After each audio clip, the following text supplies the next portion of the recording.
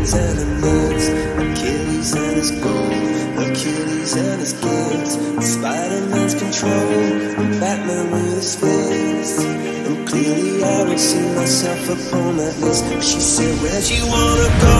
How much you wanna risk? I'm not looking for somebody with some superhuman gifts, some superhero, some fairy tale bliss, just something somebody I can kiss. I want something just like this. Ooh, ooh,